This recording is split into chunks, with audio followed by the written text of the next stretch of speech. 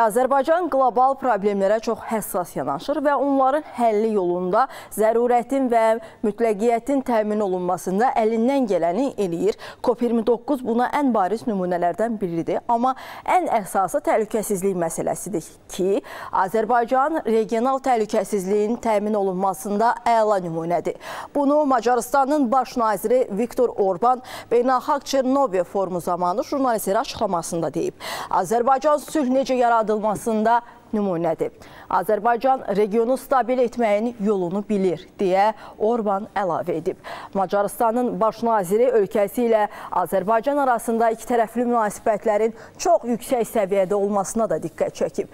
Həmçinin qeyd edib ki, Avropa Şurasının sədri kimi Macarıstan Azərbaycanla daha güclü strateji əməkdaşlığın qurulmasını istəyir.